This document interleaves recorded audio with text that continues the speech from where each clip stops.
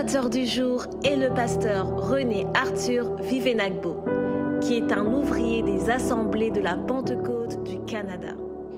Il est également visionnaire du ministère La Relance, qui a pour but d'y enseigner les principes de gestion financière contenus dans la Bible. Le pasteur René Arthur est conférencier, mais également il anime des conférences, des séminaires, des ateliers dans divers contextes. Marié à Denise et père de deux enfants, il est également un des pasteurs de l'église Le Carrefour des Nations à Québec et agit aussi à titre de soutien dans l'administration des églises du district du Québec des APDC. Dès à présent, nous vous invitons à suivre la prédication avec le pasteur René Arthur Vivenagbo. Église chrétienne Oasis, accueillons-le chaleureusement.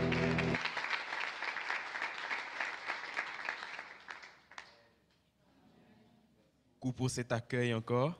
On est heureux d'être au milieu de vous euh, en ce 11 août. Euh, merci vraiment à Pasteur Alain, son épouse, Maman Alphonsine, pour euh, le privilège encore de nous avoir invités.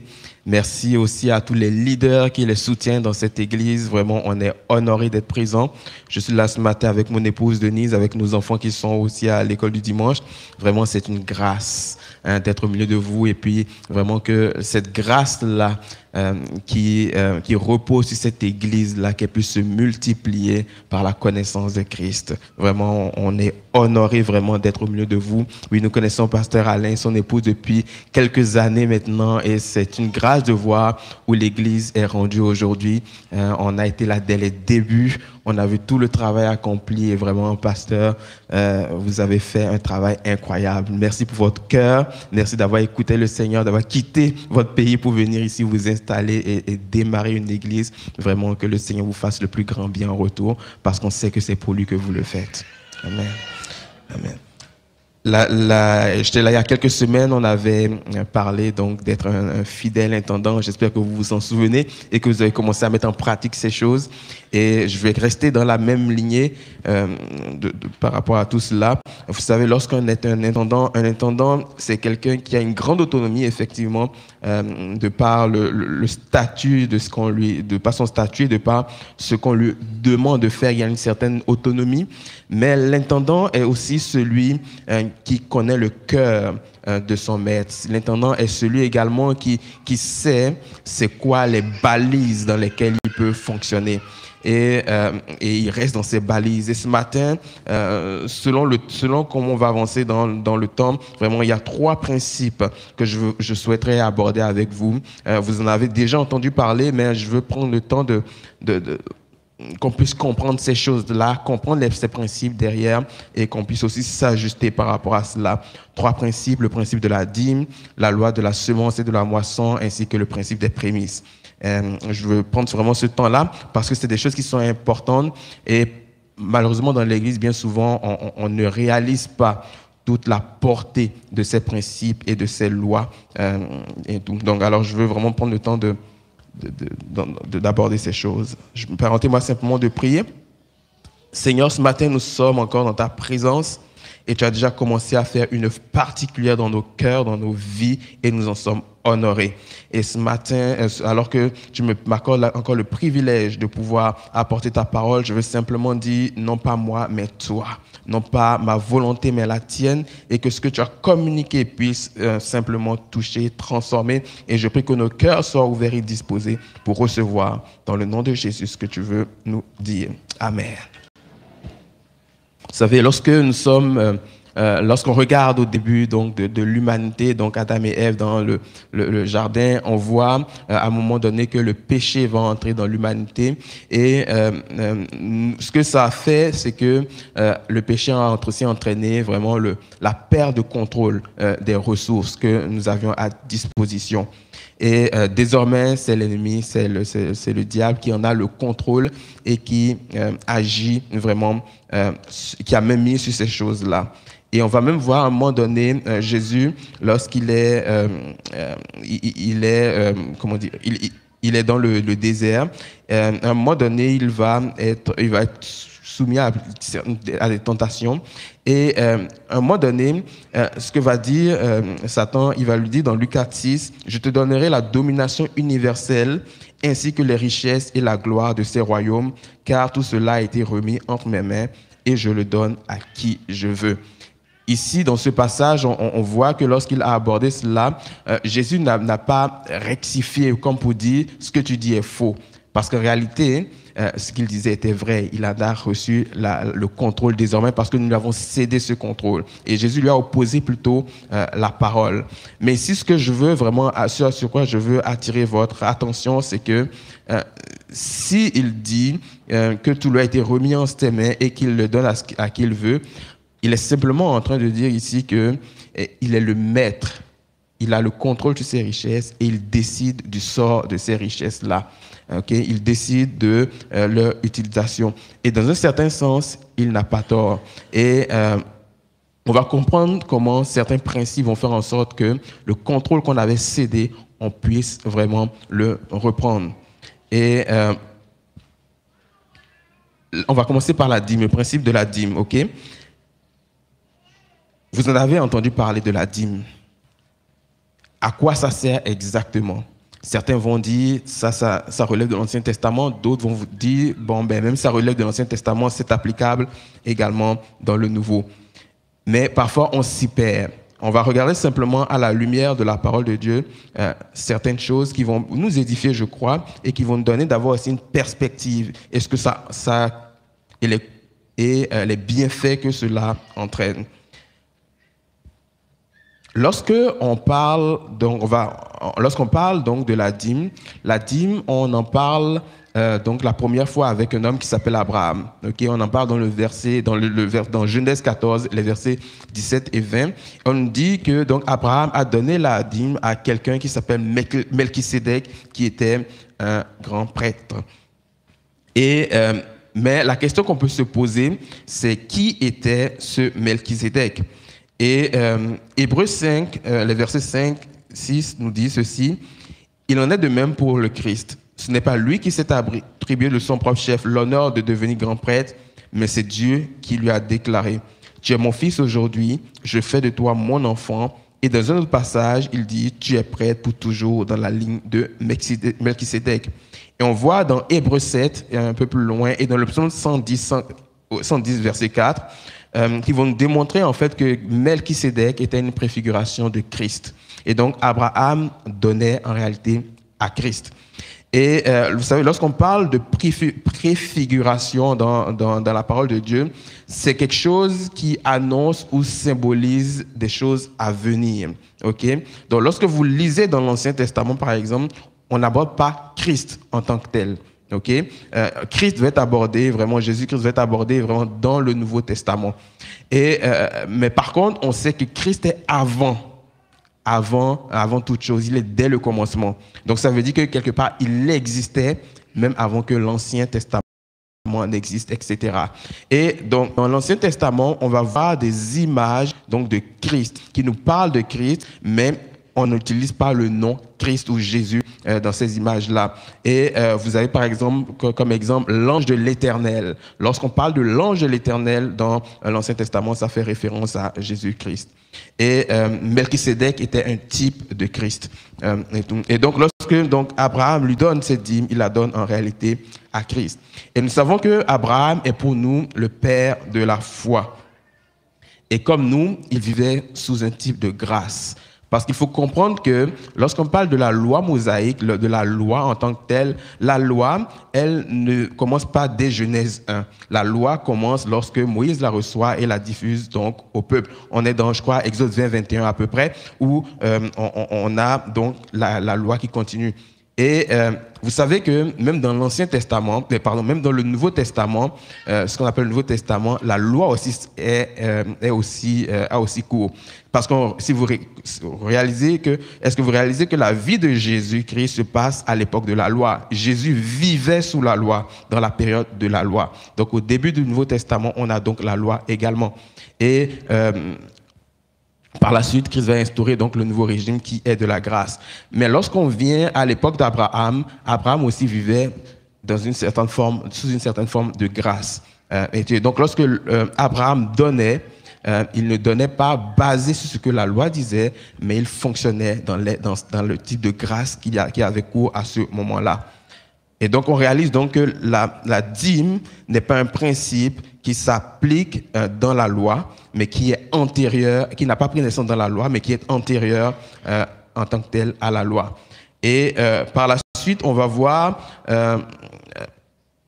l'autre mention de, de, de, la dîme, ça va être Jacob, qui à un moment donné va, va faire un vœu il va dire, donc, pour, pour résumer cela, il va dire simplement, si tu permets que tout se passe bien, que je revienne dans ma famille, je vais te donner la dîme. Euh, comme pour dire, je vais me consacrer entièrement à toi, je, je t'honorerai en tout, je te donnerai la dîme sur tout mes biens.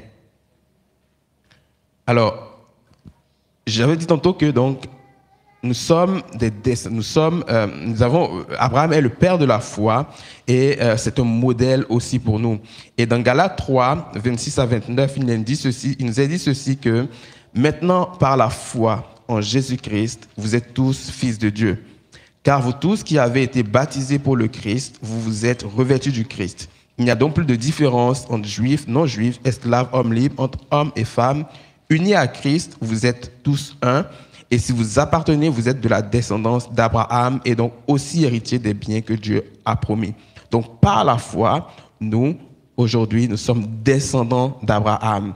Et euh, donc c'est en ce sens-là que Abraham euh, revêt quand même une importance pour nous et qu'il est un modèle pour nous parce que nous pouvons, euh, nous, pouvons nous fier quelque part à, à, lui. Et en donnant la dîme, Abraham donnait quelque part aussi un modèle à suivre parce que je rappelle qu'il était aussi sous la grâce et non pas sous la loi. Et après cela, donc euh, après cela, euh, Jacob, après Jacob qui s'est engagé à donner la dîme, on, voit aussi maintenant que la dîme a été instaurée dans la loi de façon institutionnelle. Elle a été institutionnalisée. Là, il était dit clairement dans la loi voici, vous devez euh, donner la dîme et c'était, c'était une règle à suivre.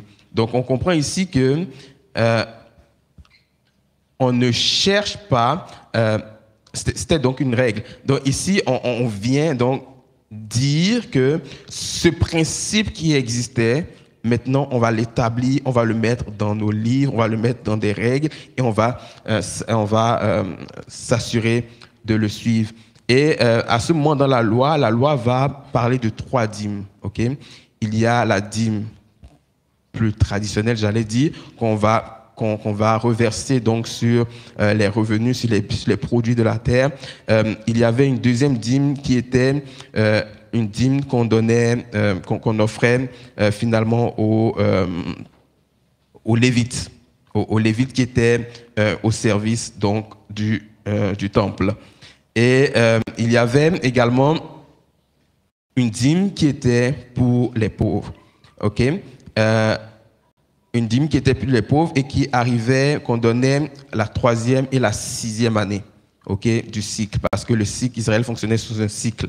Et la troisième et la sixième année de ce cycle, on donnait cette dîme-là aux pauvres. Donc on avait une dîme, la première qui était la dîme qu'on apportait euh, aux Lévites. Il y avait la dîme que euh, le peuple, les propriétaires devaient consommer euh, donc dans le temple une fois par année. Et euh, la troisième dîme, cette dîme-là qui devait être offerte aux pauvres et qui euh, se substituait à la deuxième dîme, celle qui était, euh, qui était pour les propriétaires. donc ceux-là, la troisième et la sixième année, plutôt que ce soit pour les propriétaires, elle était donnée aux pauvres. Et j'aimerais lire un passage dans Hébreux 7, le verset 9. Il nous est dit ceci. Parce que dans le Nouveau Testament, il faut comprendre qu'on n'a pas de mention très explicite sur ce qu'est la dîme. Mais on a quand même certains textes qui l'abordent, et euh, dont Hébreu 7.9 qui nous dit ceci. Euh, enfin, concernant Lévi, qui continue à percevoir la dîme par l'intermédiaire de, ses de, ses descendants, on peut même dire qu'il a versé à Melchisédek en la personne d'Abraham.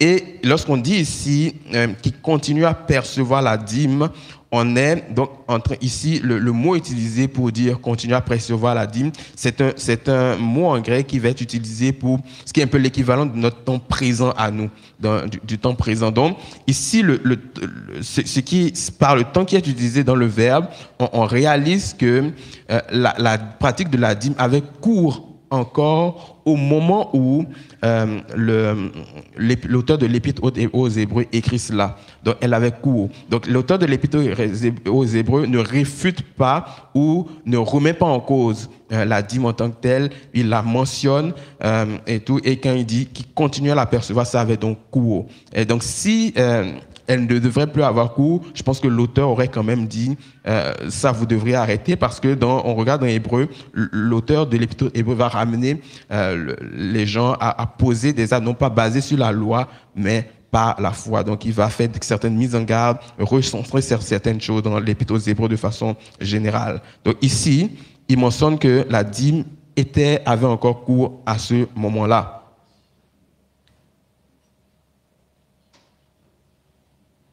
Et on a euh, un autre passage aussi dans les évangiles où on parle simplement de, de, Jésus qui disait que euh, vous faites telle affaire, telle affaire, euh, et vous, vous négligez, vous faites telle affaire, y compris de donner la dîme, mais vous négligez donc ce qui est le plus important.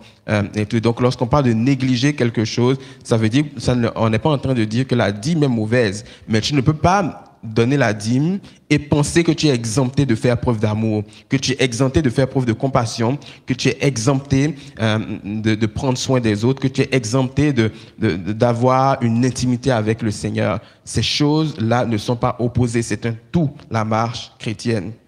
Maintenant,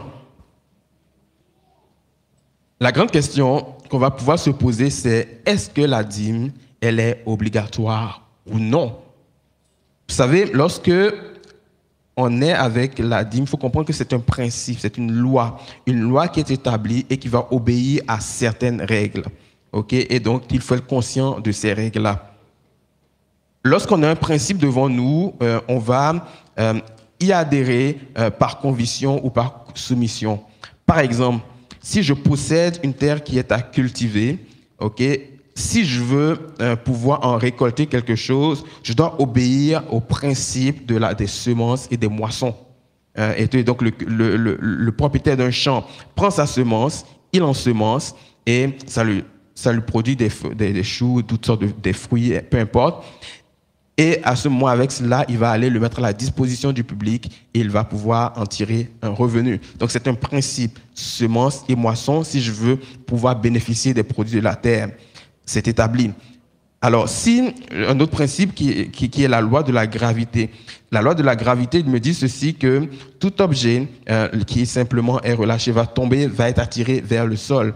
Si moi je décide de sortir du 45e étage d'une tour par la fenêtre, je fais fi de la loi de la gravité et ça peut être dangereux pour moi. Euh, et tout. Et donc, parce que je suis conscient que cette loi existe, ben, à ce moment, je prends un ascenseur, je vais simplement au rez-de-chaussée pour sortir, parce que je suis conscient du principe qui est, qui a cours. Et le principe de la dîme est euh, semblable à cela. C'est des choses qui sont établies et qui apportent quelque chose lorsqu'on pose certains actes. Et euh,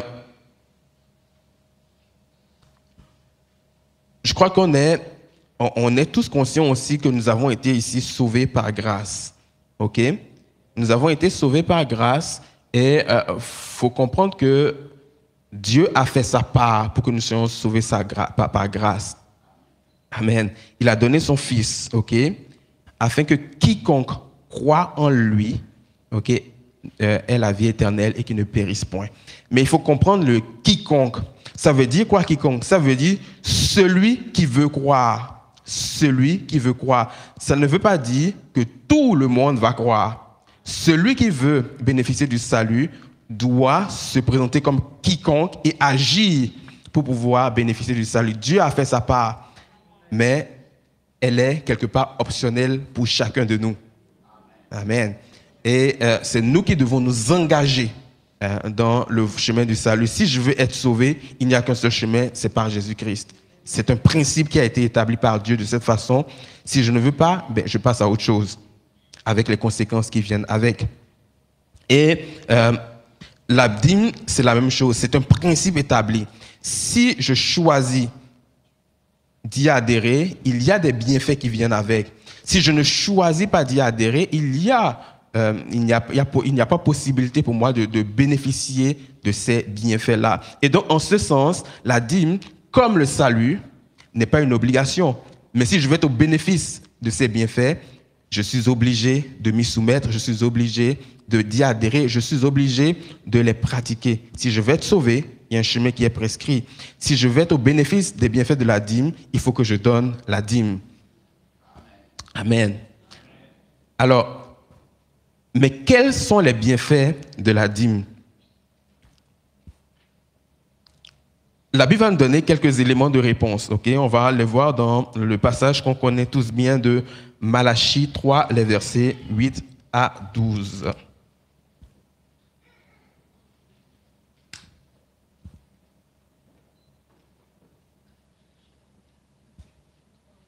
Il est dit ceci, un homme peut-il voler Dieu? Pourtant, vous me volez et puis vous me demandez en quoi t'avons donc volé Lorsque vous retenez vos offrandes et vos dîmes, vous êtes sous le coup d'une malédiction parce que tout le peuple, vous tous, vous me volez. Apportez donc vos dîmes dans leur totalité dans le trésor du temple pour qu'il y ait des vivres dans ma demeure. De cette façon-là, mettez-moi à l'épreuve, déclare le Seigneur des armées célestes. Alors vous verrez bien si, de mon côté, je n'ouvre pas pour vous les écluses des cieux et ne vous comble pas avec surabondance de ma bénédiction. Pour vous, je détruirai l'insecte qui dévore il ne détruira plus les produits de vos terres, de vos vignes dans vos campagnes, et vos, et vos vignes dans vos campagnes ne manqueront plus de leurs fruits, déclare l'Éternel, le Seigneur des armées. Et toutes les nations vous diront bienheureux, car vous serez alors un pays de délices, déclare l'Éternel, le Seigneur des armées. On va regarder ce texte, ok? On va, on va le décortiquer un petit peu pour comprendre ce, que, euh, ce que les bienfaits qu'apporte la dîme. Premièrement, le but de la dîme, c'est qu'il y ait donc euh, de quoi qu'il y ait des vivres dans la maison du Seigneur. C'est donc pour nous qu'il y ait tout le nécessaire dans l'Église pour que l'Église puisse accomplir l'œuvre à laquelle elle a été appelée. C'est pour ça qu'on apporte la dîme euh, à, l'Église. Comme ça, l'Église va être en mesure de fonctionner et d'accomplir euh, vraiment ce que c'est sa mission, de faire ce que et notre mission, c'est de faire de toutes les nations des disciples. OK? Et Amen. Et euh, pour faire de toutes les nations des disciples, faut réaliser que ça prend, oui, des ressources financières, ça prend aussi des ressources euh, humaines, etc., mais ça prend des ressources financières. Lorsque je décide de sortir pour aller évangéliser, par exemple, euh, dans, dans, la rue, ça va me prendre peut-être des pamphlets, des pamphlets ont un coût. Euh, si je décide pendant cette évangélisation euh, d'offrir à manger à ceux qui sont dans le besoin, ça prend des coûts euh, pour pouvoir, ça prend de l'argent pour pouvoir couvrir ces choses-là. si je veux aller en mission beaucoup plus loin que, que, ma région environnante, ça prend du carburant, ça prend peut-être un billet d'avion, ça prend, ça prend encore des ressources financières. Donc, en apportant la dîme, euh, pour qu'il y ait des vivres dans la maison du Seigneur, on apporte tout ce qui est nécessaire pour que l'Église puisse accomplir son mandat. Donc il y a une solidarité aussi qui euh, s'inscrit dans ce cadre-là, parce que l'œuvre est faite, non, elle ne repose pas sur une seule personne, sur une poignée de personnes, mais sur l'Église en tant que telle. Alors, donc c'est ça le but. Maintenant, qu'est-ce qu'on gagne en retour? Lorsqu'on donne la dîme. Premièrement, dans ce passage de Malachie 3, euh, 8, les, versets 8 à 12, on dit ceci que euh, un des bienfaits, donc, c'est l'ouverture des éclus des cieux pour avoir des bénédictions surabondantes. C'est Dieu même qui le dit dedans. Et euh, c'est quoi les écluses? Les écluses, ça va être des vannes qui vont ouvrir ou se fermer pour permettre la navigation des bateaux dans euh, des zones qui sont, euh, qui sont dangereuses, qui, sont, qui ont beaucoup d'obstacles et qui sont, où il est difficile de naviguer. Et donc, on va créer des, des écluses pour pouvoir faciliter. Donc, les écluses vont retenir l'eau et à un moment donné relâcher l'eau de sorte que les obstacles vont être couverts par l'eau et le bateau va pouvoir naviguer euh, en sécurité. ici. Et la parole de Dieu, qu'est-ce qu'elle nous dit? Que nous avons été déjà bénis de toutes sortes de bénédictions spirituelles en Christ. Ça, c'est dans Éphésiens 1, 3. Donc, si nous sommes déjà bénis de toutes sortes de bénédictions, il faut par contre que nous puissions reconnaître ces bénédictions et les saisir. Et lorsque je donne ma dîme, cela me permet de créer un canal euh, entre Dieu et moi pour pouvoir reconnaître ces bénédictions, les saisir les, me, les, approprier. Et donc, c'est ce que il n'y a plus de, il n'y a plus d'obstacles euh, lorsque les écluses sont ouvertes. Il n'y a plus d'obstacles. Et donc, cette grâce et bénédictions qui sont, euh, qui ont été mises à ma disposition, elles peuvent me parvenir parce qu'il y a quelque chose euh, que Dieu fait en ce sens-là. Et donc, euh, c'est un des bienfaits de la dîme, d'avoir accès euh, à la bénédiction parce que les écluses sont ouvertes et que les grâces surabondantes, on peut facilement s'en saisir. L'autre chose, c'est qu'il nous a dit que Dieu nous dit qu'il va détruire l'insecte qui dévore euh, donc et qui donc détruit les produits de la terre. Quelque part, euh, pour être terre à terre, Dieu va faire en sorte que les urgences qu'on peut rencontrer à certains moments de la vie, euh, qui font en sorte que parfois on se demande, mais où est passé mon argent? Euh, Ces choses-là, Dieu s'engage à ce que ces choses soient mises de côté, qu'elles ne vous atteignent pas. Et tout, qu'elles ne, vous, qu'elles ne vous atteignent pas. Parce que parfois, on se retrouve, à un moment donné, en fin de mois, on se dit, mais qu'est-ce que j'ai fait avec mon argent? Euh, et en, essayant de regarder, on réalise que ah oui, j'ai été sollicité tellement de fois, j'ai eu tellement d'urgence que finalement, j'ai même même pas pu jouir euh, du produit de mes efforts. Et tout, il y a eu un dévoreur qui est passé par là, il y a un insecte qui est venu dévorer. Et Dieu dit, euh, si tu ne veux pas que ça arrive, voici comment tu dois fonctionner en donnant la dîme. L'autre promesse qui vient avec, c'est que nos vignes dans nos campagnes ne manqueront plus de fruits. Ça veut dire quoi? Ça fait référence à tous les projets, tout type d'entreprise que nous avons. Quand je parle d'entreprise, c'est plus large qu'une entreprise, euh, une société. Là, entreprise, ce qu'on qu planifie, entreprise dans le sens de projet. Euh, ça va être relatif euh, aussi peut-être à des investissements, peu importe. Mais ici, il faut mettre on veut mettre l'accent sur le fait que je veux avoir quelque chose, je veux avoir un rendement, je veux récolter, disons, entre guillemets, un rendement. Et euh, Dieu veut s'assurer que ce que je fais en ce sens puisse être bénéfique, que le projet soit porteur, que mon entreprise soit porteuse, hein, que l'investissement que je vais faire puisse apporter le rendement escompté. Et c'est une promesse qui vient avec la dîme. Si je donne la dîme, Dieu, lui, s'engage en retour à faire en sorte que mes projets, mes entreprises puissent donc réussir hein, en ce sens-là. Et euh, l'autre chose, c'est que euh, le promesse qui vient, c'est que les nations euh, nous diront bienheureux, euh, car on sera un pays de délices. Ici, ça fait référence à quoi? Ça fait référence au témoignage. Les gens, lorsqu'ils vont me voir, ils pourront attester qu'il y a une grâce particulière dans ce domaine-là. Je serai, je deviendrai un témoignage, un témoignage de la fidélité de Dieu dans ce sens. Et lorsque je serai avec mes collègues qui euh, me parleront de leur situation financière qui représente beaucoup d'enjeux, euh, je n'aurai pas à rougir parce que je pourrai leur dire, vous savez, vous vivez ces choses, euh, mais je sais quelle est la solution pour vous en sortir. Et je peux à ce moment témoigner de la grâce de Christ. Je peux apporter aussi le salut et ensuite leur dire, voici ce que nous faisons, voici ce que la Bible dit dans ce sens-là. Et il y a une intelligence qui va être ouverte aussi chez les gens que nous côtoyons parce qu'ils vont voir que euh, ce que je dis de la Bible, effectivement, je le vis. Euh, et donc ça, on va nous reconnaître donc comme un pays de délices. Amen.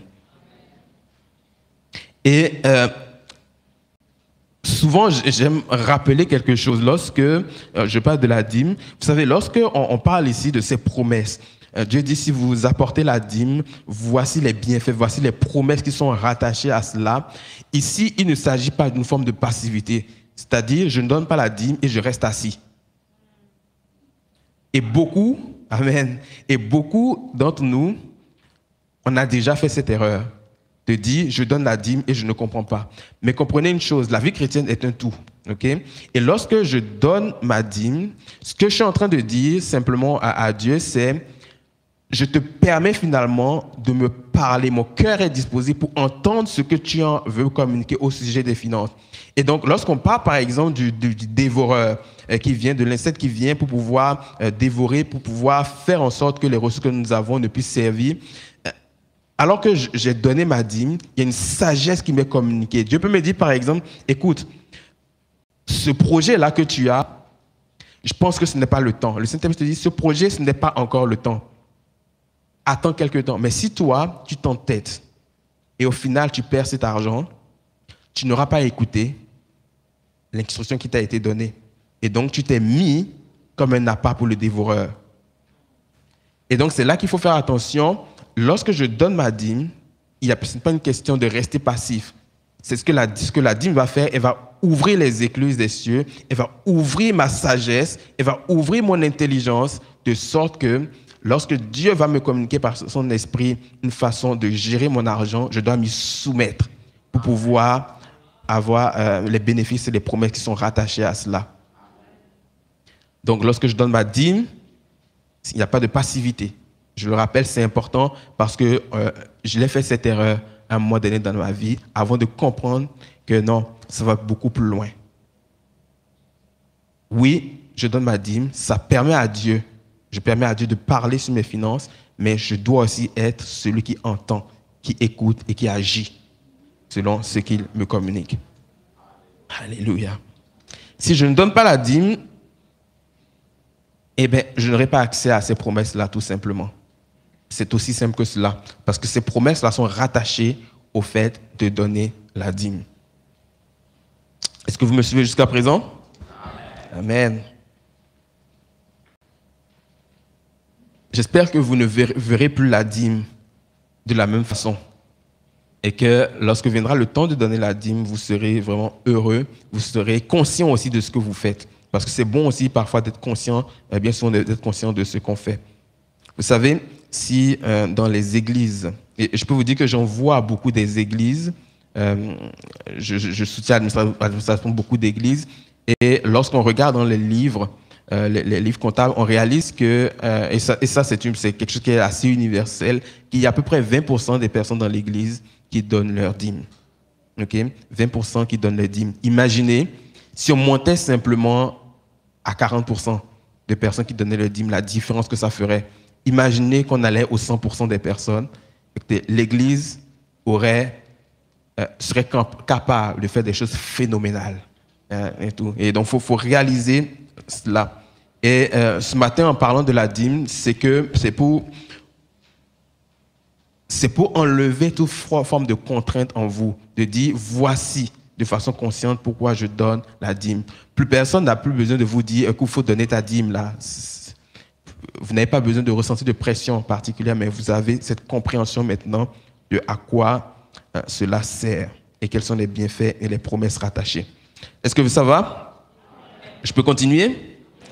On va voir le, principe de la semence et de la moisson.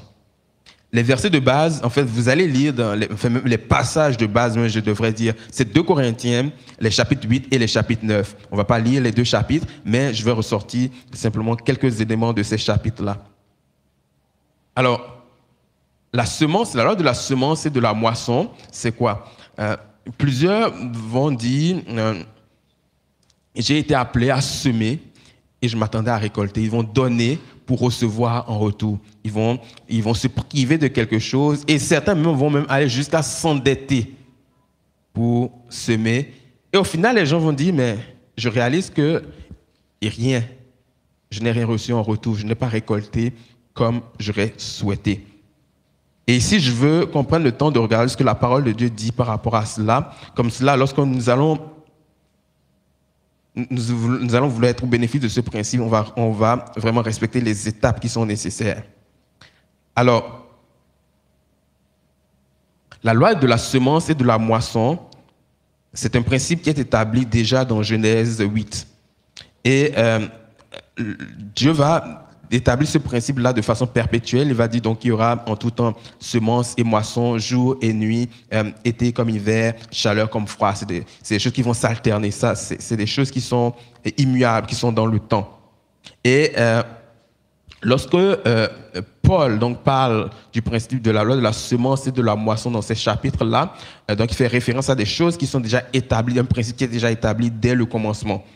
Et euh, semence veut dire euh, simplement ce qui fait germer un plan. OK? C'est ce qui fait germer un plan. C'est ce qui va apporter une prospérité, qui va apporter une descendance. Euh, et euh, dans la semence, il y a donc cette idée de vie. OK? Et la semence va être la première étape pour que la vie apparaisse. Donc, si je veux récolter quelque chose, j'ai mon grain de blé, je le mets en, terre, c'est la première étape pour produire la vie. Si je conserve ce grain de blé dans ma poche, euh, ce grain de blé ne peut pas produire de vie quelconque parce qu'il n'a pas été mis en terre. Donc la semence est la première étape de la vie. Et donc la semence euh, va par la suite porter, euh, va se développer, va germer, va porter le fruit qui est en nous. Et euh, la loi de, la semence et de la moisson, elle est très large, ok? Elle va englober beaucoup de choses. Et euh, plusieurs choses dans la parole de Dieu vont faire référence à cette loi de façon indirecte. Pardonnez et ainsi vous serez pardonnés. C'est de la semence et de la moisson. Si je veux ré- récolter le pardon, faut que je pardonne aussi. Ok, C'est de la semence et de la moisson également. Il nous est dit aussi que arrosez et vous serez arrosés. C'est de la semence et de la moisson. Il vous est dit que donnez et il vous sera donné. C'est de la semence et de la moisson. On dit dans Jacques euh, que le jugement est sans miséricorde pour ceux qui n'ont pas fait miséricorde. C'est de la semence et de la moisson. Si je veux connaître la miséricorde, je dois semer la miséricorde. Donc c'est un principe qui est établi et qui est très général. Et maintenant, si on revient euh, donc à tout ce qui est euh, la gestion de l'argent par rapport à ce principe, les chapitres de 2 Corinthiens 8 et 9, vous allez pouvoir les lire, vont en parler amplement. Vous allez voir, Paul va parler de cette église de Macédoine donc, qui collecte des fonds et qui veulent semer dans une œuvre. Et euh, lorsqu'on est dans tout ce qui est la semence et la moisson, il faut comprendre quelque chose que, euh, oui, nous avons une semence en main. Lorsque je la mets en terre, elle va produire un certain fruit, mais le fruit qu'elle va produire, le résultat d'une semence varie selon la météo, la qualité, l'habileté, l'habileté du, euh, de, de- celui qui, est, qui, sème. Ça va dépendre également aussi de, de, de l'irrigation, de l'ensoleillement, de la qualité de la semence en elle-même aussi. Et donc, on, on voit qu'il y a un ensemble de choses qui font en sorte que la semence produit donc un fruit qui est intéressant. Euh, Et euh, on voit dans Matthieu 13, euh, au verset 8, on dit que la semence va produire, elle pourra produire 30, 60 et 100. Et tout parce que justement, en fonction de différents facteurs, on peut avoir différents résultats. Alors, en revenant au chapitre, 2, euh, au chapitre 8 et 9 de 2 Corinthiens, on va donc lire euh, donc le verset 5 du chapitre 8. On dit ici, dépassant toutes nos espérances, donc c'est l'apôtre qui parle, ils se sont tout d'abord donnés eux-mêmes au Seigneur et ensuite, conformément à la volonté de Dieu, ils se sont mis à notre disposition. Ce passage-là, il ne faut pas le lire très vite. Il faut s'arrêter parce que dedans, il y a beaucoup de principes. Il y a les étapes nécessaires pour la semence et la moisson. Donc, premièrement, se donner au Seigneur. Se donner, se donner va, dans, le mot grec est utilisé, ça veut simplement dire accorder, s'accorder avec quelqu'un, fournir, donner de soi-même euh, à quelqu'un afin de le suivre comme un maître. Donc ici, dans se donner, on a un acte qui est volontaire de la part, de la personne de s'offrir quelque part à Dieu, de se soumettre euh, à Dieu. Et donc, dans l'expression se donner, on a l'idée de la consécration. On a l'idée de la soumission à Dieu. On a l'idée de s'abandonner à Dieu. Donc, lorsqu'on dit qu'ils se sont donnés euh, d'abord à Dieu, donc ça a été la première étape, se donner d'abord à Dieu, ça veut dire qu'ils ont mis leur relation avec Dieu à la première place. Qu'ils ont choisi d'entrer dans l'intimité avec Dieu d'abord euh, et avant tout. Et euh, alors qu'ils se sont, euh, se sont donnés à Dieu, ça veut dire quoi? Se donner à Dieu va faire en sorte que j'ai une intimité avec Dieu. Ça va faire en sorte que je développe ma relation de proximité, de profondeur avec le Seigneur. Ça va faire en sorte qu'il y ait un lien entre Dieu et moi. Ok, donc ça c'est une, ça c'est la première étape. Et lorsque je m'offre à Dieu, quelque part, je suis en train de lui dire, je souhaite aussi connaître ta volonté. Je souhaite aussi connaître tes orientations pour ma vie. Je souhaite marcher selon les chemins que tu as. Donc c'est la première étape. Ils sont d'abord donnés à Dieu. Et par la suite, il nous dit ceci, donc ils sont d'abord donnés eux-mêmes au Seigneur, et ensuite conformément à la volonté de Dieu. Ça veut dire que ils étaient dans l'intimité avec Dieu et par la suite, ils ont connu la volonté de Dieu. Donc l'intimité avec Dieu qui le, crée le cadre pour que la volonté de Dieu nous soit communiquée, que nous puissions la connaître. Donc deuxièmement, découvrir la volonté de Dieu. Lorsqu'on va se consacrer, Dieu va être à même de nous révéler donc sa volonté et euh, ça va nous permettre d'avoir des orientations qui sont claires de ce qu'il attend de nous. Donc découvrir Dieu, découvrir donc euh, la volonté de Dieu, c'est de, découvrir son plan, de découvrir euh, les étapes qu'il veut que je prenne pour telle ou telle chose. Et ça va être aussi quelque part de faire naître en moi la foi. Parce que lorsque je reçois la volonté de Dieu, lorsque je la connais, il y a une foi qui va naître en moi. Parce que la, la foi vient donc de ce que l'on entend, ce que l'on entend, vient de la parole de Christ. Et donc dans l'intimité avec Dieu, alors que je suis au bénéfice de sa volonté, je reconnais sa volonté, il me parle, alors la foi est suscitée en moi pour pouvoir accomplir donc sa volonté. Et euh, la foi ici n'est pas une question de euh, d'autosuggestion, mais c'est elle s'appuie vraiment sur la parole de Dieu. Donc lorsque je reçois cette parole, ma foi se bâtit sur quelque chose de solide.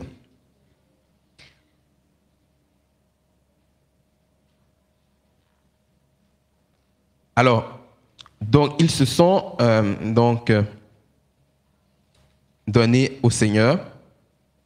Ils sont d'abord donnés au Seigneur.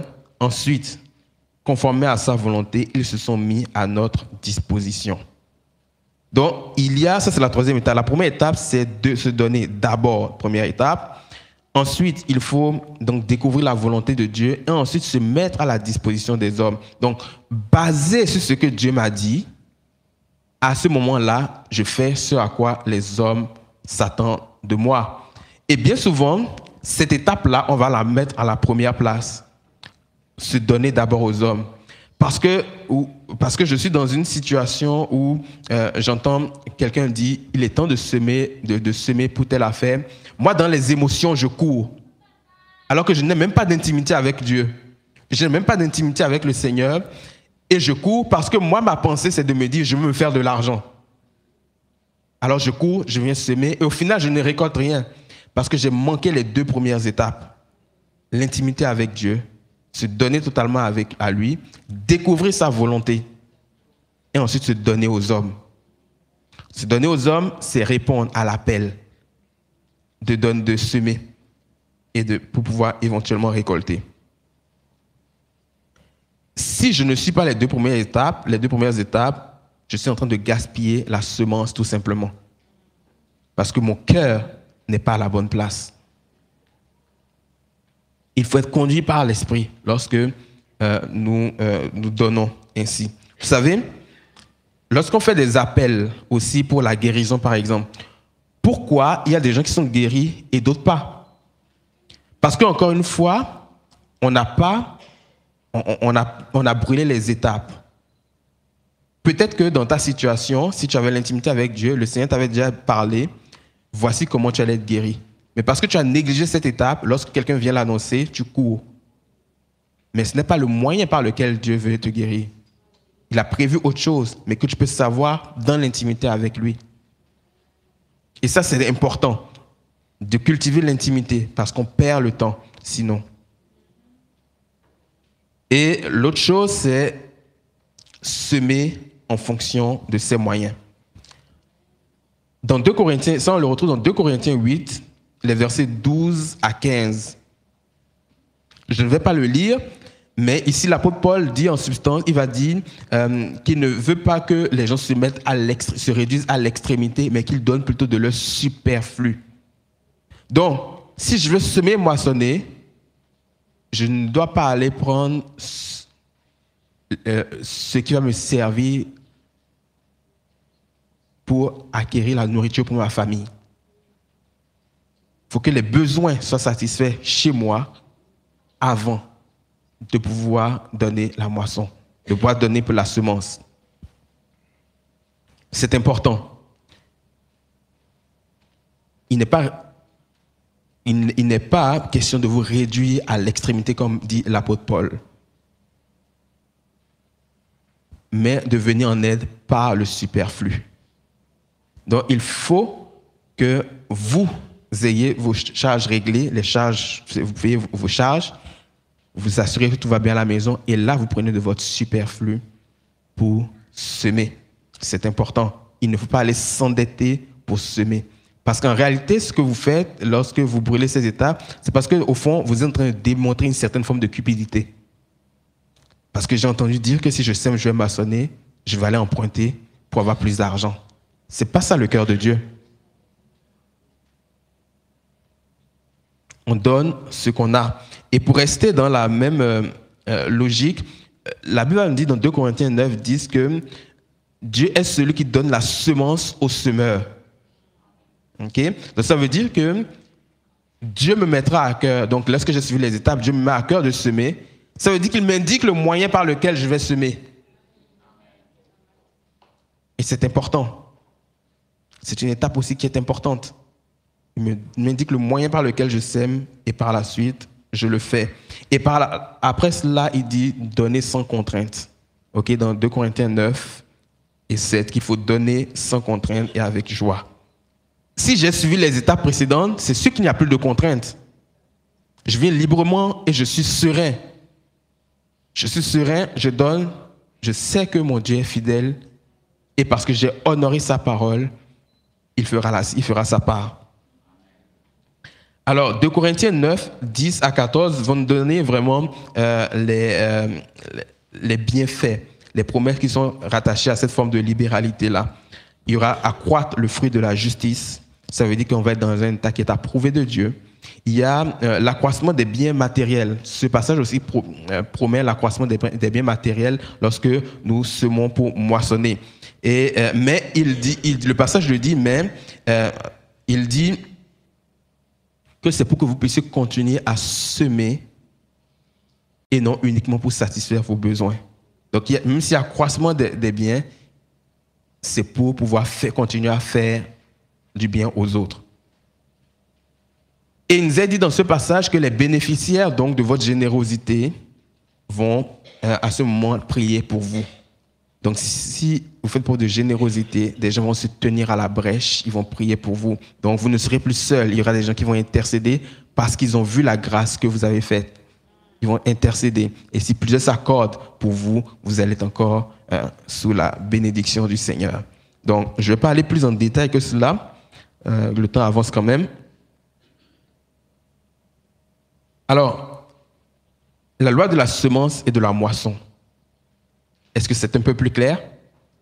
Oui Bon. Je vais aborder le, troisième principe, qui est le principe des prémices. Celui-là, je, je ne devrais pas être très long dans cela.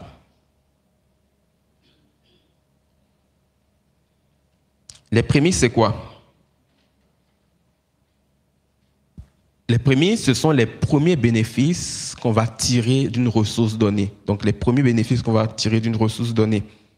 Ça peut être un premier salaire euh, dans un emploi donné, ça peut être les fruits euh, de, la production euh, de tes champs, comme il est parlé aussi dans la parole de Dieu, peu importe, c'est les premiers bénéfices qu'on va tirer d'une ressource donnée.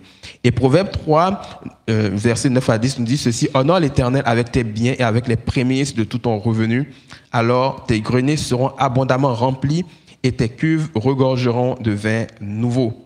Et donc, ici, on dit que si tu honores Dieu avec tes biens et avec les prémices de ton revenu, la conséquence directe, c'est que tes greniers seront abondamment, remplis et tes cuves vont regorger de vin nouveau.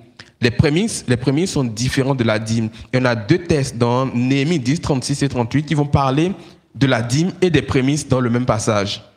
Euh, je vais le lire euh, rapidement. Euh,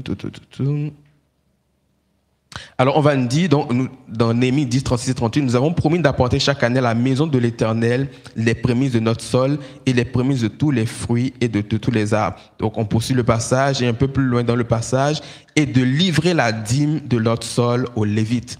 Donc, les prémices sont différentes de la dîme. Vous avez aussi deux, deux Chroniques 30, verset 5, qui vont aussi faire mention dans le même texte des prémices et de la dîme. Donc, on comprend que c'est différent. Les prémices et la dîme sont différents. Et euh, le principe des prémices, il date, encore une fois, non pas de la loi, mais d'avant la loi. Euh, ça, c'était avec avec Abel et Caïn, euh, dans, les versets, dans, Genèse 4, des versets 3 à 5. Et ici, on, on, constate quelque chose que Dieu a accepté euh, l'offrande euh, d'Abel, mais n'a pas accepté l'offrande de Caïn. Et lorsqu'on relit le texte, on, on, va réaliser que Abel, lui, il a offert les premiers-nés les premiers-nés de son troupeau. Donc les prémices, c'est le mot, les prémices de son troupeau, alors que son frère euh, Caïn a offert, des fruits quelconques. Donc ici, il a offert à Abel les premiers, les premiers nés, donc les prémices. Et euh, les prémices, ici, lorsqu'on parle du, du, passage dans Proverbe 3, 9, euh, verset 10, Honore l'Éternel avec tes biens et les prémices de ton revenu, alors tes greniers seront abondamment remplis. La promesse qui est rattachée à, cela est très intéressante. Pourquoi? Parce que lorsqu'on parle des greniers qui vont se remplir, ce mot-là dans, l'hébreu euh, se retrouve dans deux passages uniquement. Il se retrouve dans ce passage de Proverbes 3, 9 et 10, mais il va aussi se retrouver dans, euh, euh, Deutéronome 28, 8. L'Éternel ordonnera la bénédiction d'être avec toi dans tes greniers et dans toutes tes entreprises. Il te bénira, euh, dans le pays que l'Éternel, ton Dieu, te donne. Dans Deutéronome 28, ok, c'est un condensé des bénédictions qui ont été faites euh, depuis Abraham. C'est un condensé des bénédictions qui ont été faites. Et ces bénédictions sont aussi pour nous parce qu'elles ont, elles proviennent de ce que Dieu avait déjà dit auparavant à Abraham, etc., et aux, différents patriarches. Elles sont donc aussi pour nous. Et donc, lorsque, je trouve intéressant de, mentionner ça, donc lorsqu'on parle de greniers, qui, de l'abondance de ces greniers, ça va faire référence donc à ces bénédictions-là qui euh, sont déjà contenues dans Deutéronome 28. Et le but des prémices, il n'y a qu'une seule chose, c'est simplement la reconnaissance et l'honneur à Dieu. Je veux honorer Dieu, je veux être reconnaissant de ce qu'il m'a donné, c'est pour ça que je donne les prémices. Et euh, on a dit, lorsqu'on dit les prémices, ce sont les premiers fruits. Donc ça veut dire qu'il m'appartient de déterminer les premiers fruits. Certains vont dire, que mon premier, mon premier salaire est le premier fruit. D'autres vont dire, peut-être la moitié du salaire est le premier fruit. D'autres peut-être vont dire, un dollar sur le premier salaire, c'est le premier fruit. Peu importe, ok? La Bible ne dit pas, voici telle chose, mais ne dit pas des premiers fruits. Mais une chose qu'on réalise, c'est que, tout simplement, c'est que, en fonction de qui je veux honorer, je vais mettre les moyens qu'il faut. Parce que lorsque j'invite chez moi, par exemple, certaines personnes, parce que je veux les honorer, je, fais la totale. Je fais la totale, tout simplement. Et donc, ici, c'est à vous de déterminer c'est quoi les premiers fruits que vous voulez pour honorer Dieu. Amen. Je ne vais pas aller plus loin parce que je pense que c'est quand même assez clair. Oui. Je ne vais pas aller plus loin. Je veux vraiment prendre le temps de prier. Parce que je crois que Dieu veut faire quelque chose aussi dans les vies. Donc on a parlé de trois choses. Du principe de la dîme, du principe de la semence et de la moisson et du principe donc des prémices. Si je veux, euh, parfois j'aime bien, au-delà des mots tels, que la, Bible le dit, j'aime parfois le dire dans un langage qui est beaucoup plus simple et tout. Donc, si je veux parler du principe de la dîme, par exemple, je vais simplement parler de consacrer les ressources. À Dieu. Lorsque je vais parler de la loi de la semence et de la moisson, je vais parler d'investir pour Dieu. Et lorsque je vais parler du principe des, des, prémices, je vais parler tout simplement de l'honneur et de la reconnaissance à Dieu. Comme ça, c'est des langages qui sont beaucoup plus simples que ces mots-là qui vont mieux résonner dans nos têtes. Alors, est-ce qu'on peut se lever ensemble, s'il vous plaît? Alléluia.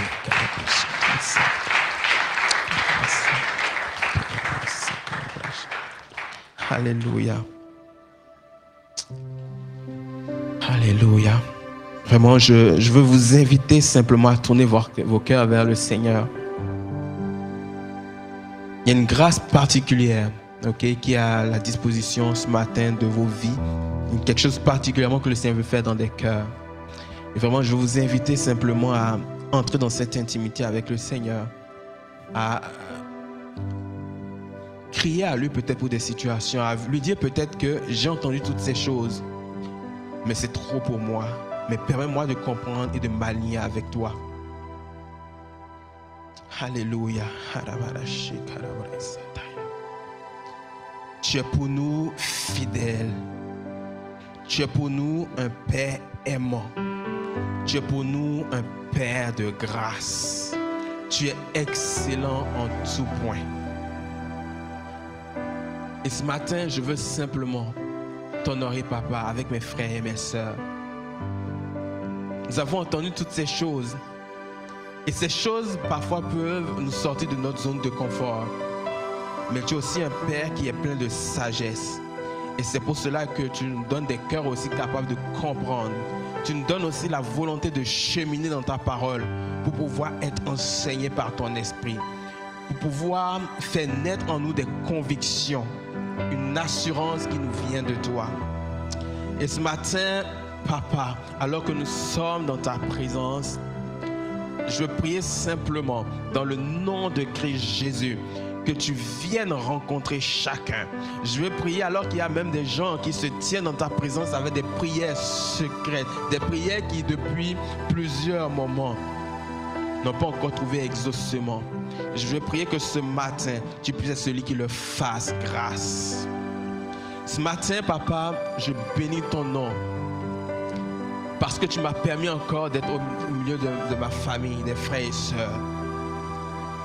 Et merci parce que je crois que ce message était à propos et qu'il va permettre que tes perspectives changent.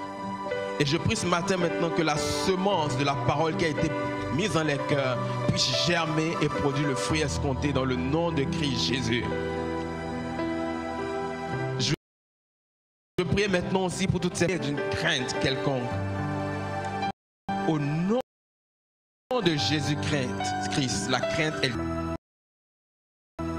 pour laisser voir la foi qui déplace les montagnes, la foi qui est porteuse de fruits. Dans le nom de Jésus, je prie maintenant, alors que plusieurs ont donné la dîme, mais qu'ils n'ont pas compris pourquoi ils le faisaient, et qui n'ont pas eu les bénéfices escomptés. Je prie maintenant que conformément à ta promesse, les écluses des cieux s'ouvrent dans le nom de Christ Jésus. Que la sagesse qui provient de toi maintenant, il peut simplement la saisir et qu'il puisse fonctionner selon ta parole dans le nom de Jésus. Alléluia Jésus. Oh Jésus. Jésus, Jésus, je t'appelle encore ce matin afin que tu te, manifestes dans des vies. Oh papa,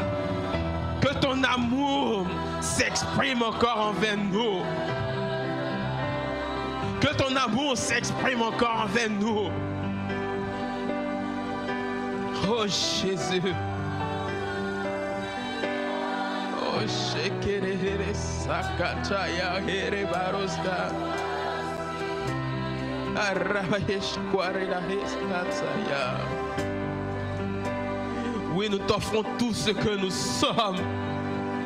Que nos vies t'honorent en tout point. Nous avons été rachetés à grand prix par toi afin de pouvoir faire ta volonté parce que nous t'appartenons. Alors donne-nous maintenant de saisir ta pensée et d'agir selon ta volonté. Dans le nom de Christ Jésus, je prie maintenant afin que les obstacles qui empêchent d'entrer dans l'intimité avec toi et de faire ta volonté tombent au nom de Jésus. Je veux relâcher maintenant la bénédiction ici, papa. Je veux relâcher ta bénédiction. Je veux relâcher ta bénédiction sur cette assemblée. Je veux relâcher cette bénédiction sur les frères et les sœurs. Alors Saint-Esprit commence à parler et à agir dans les cœurs, dans les vies. Recevez maintenant cette grâce du Seigneur. Recevez cette grâce du Seigneur. Alléluia. Il y a plusieurs ici. Vous avez remis en question le principe de la dîme. Mais vous avez vécu aussi de ces situations difficiles qui vous ont même parfois amené à remettre en question votre attachement, votre marche avec le Seigneur. Le Seigneur vous dit ce matin que c'est parce que vous avez remis en question ce principe que vous connaissez ces défis. Mais le Seigneur vous garantit une chose. Si vous choisissez d'accepter, d'embrasser ce principe, la grâce qui vient avec se manifestera. De sorte que ces enjeux s'évanouiront. De sorte qu'il y aura littéralement pour plusieurs un avant et un après il y aura littéralement pour plusieurs des choses qui vont basculer en une journée.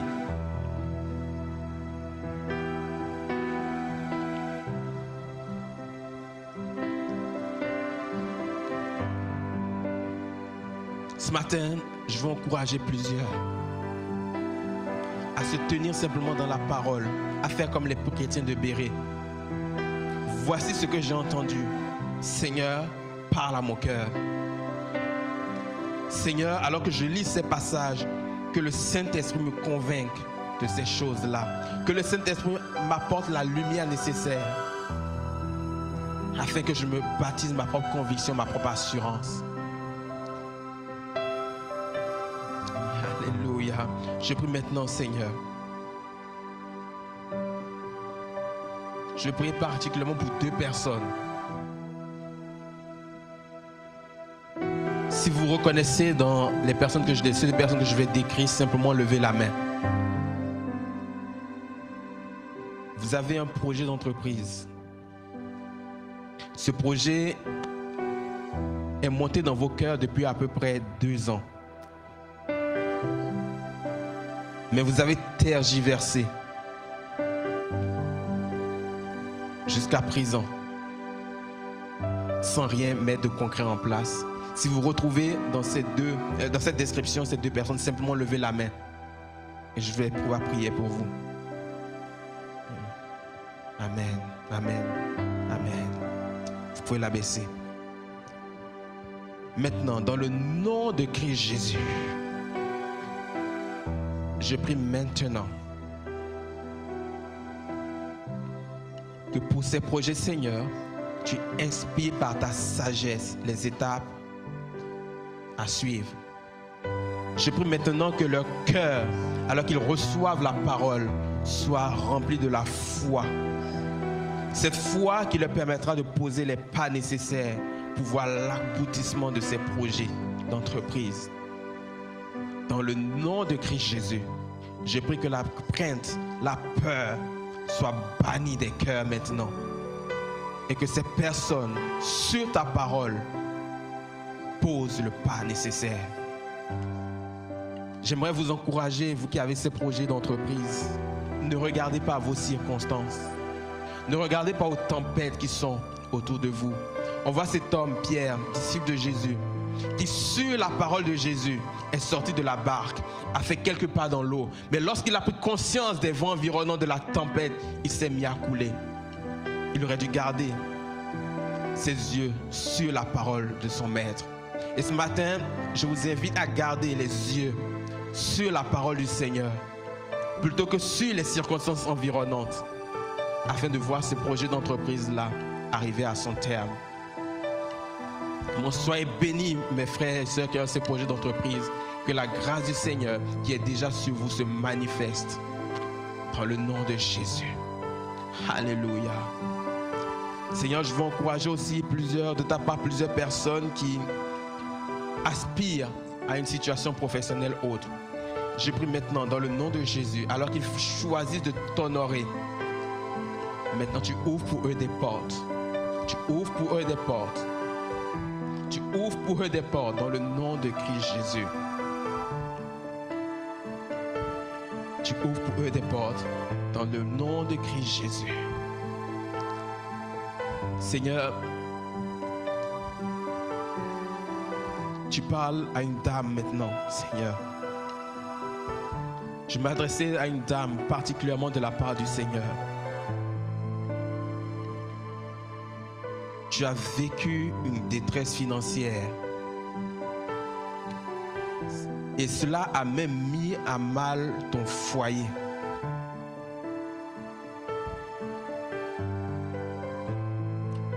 N'aie crainte. Parce que le Seigneur te promet restauration. Mais il y a un si. Si tu choisis de l'honorer. Alors je ne sais pas comment tu vas l'honorer, ton Seigneur. Mais si tu choisis de l'honorer, il y a une restauration qui va venir surnaturellement dans, dans ta vie, dans tes circonstances.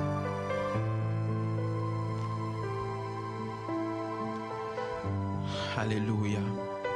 Je sens dans mon cœur qu'il faut que j'apporte un témoignage pour plusieurs personnes.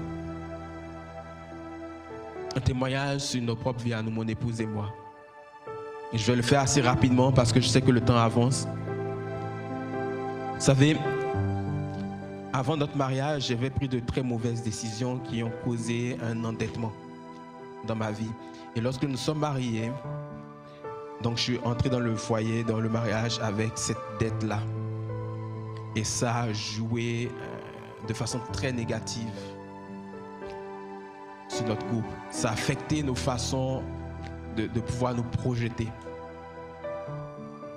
Mais le Seigneur nous a fait grâce. Il y a un passage dans, dans, la parole de Dieu, dans les proverbes, qui nous dit ceci, que celui qui cache ses fautes ne prospère point. Mais lorsqu'il les confesse, il reçoit miséricorde. Reçoit grâce. Et ce passage-là a été pour nous une clé. Nous avons reconnu, j'ai reconnu à ce moment-là que j'avais fait de mauvaises, j'avais pris de mauvaises décisions. J'ai reconnu, je les ai confessées. Et lorsque j'ai reconnu ces choses, je me suis attelé avec mon épouse, on s'est attelé à régler tout ce qui est lié à la dette.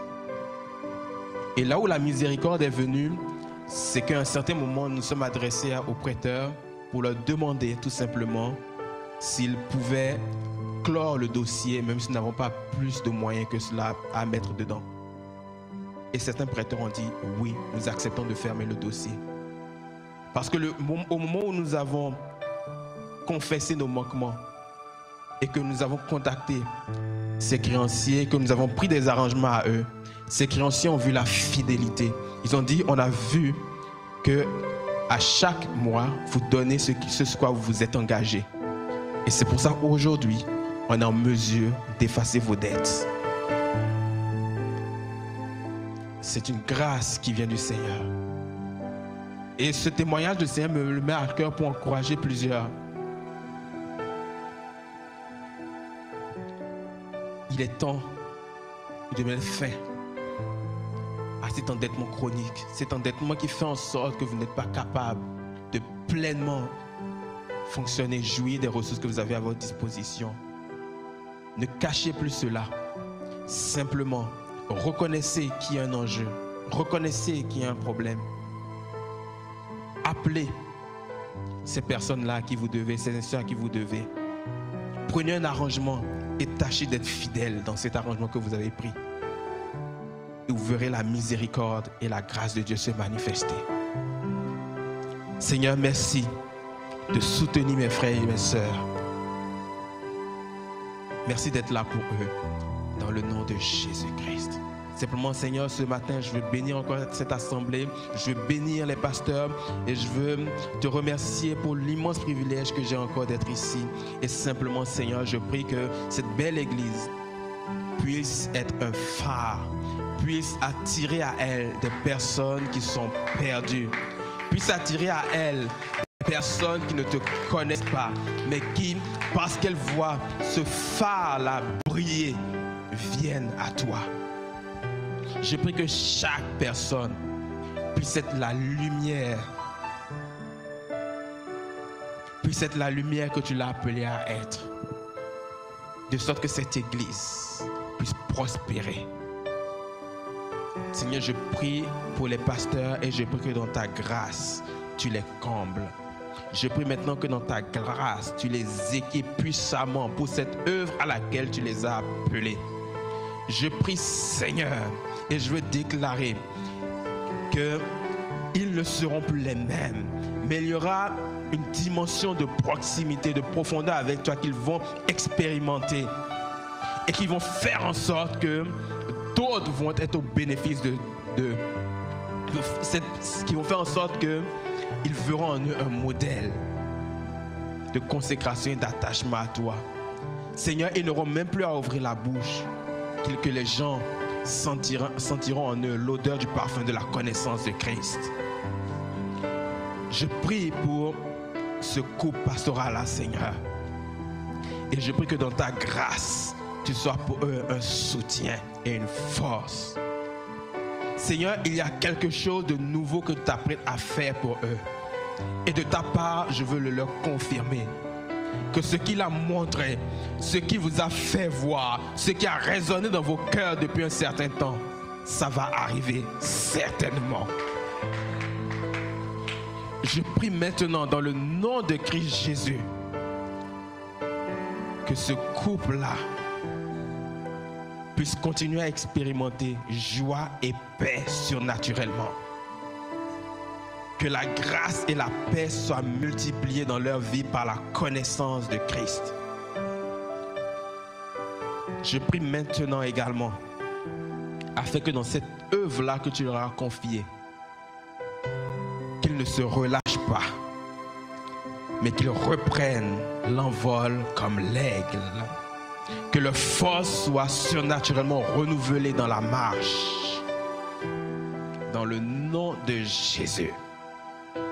Bénis-les maintenant, je te le demande, ainsi que leurs enfants. Dans le nom de Jésus-Christ. Amen.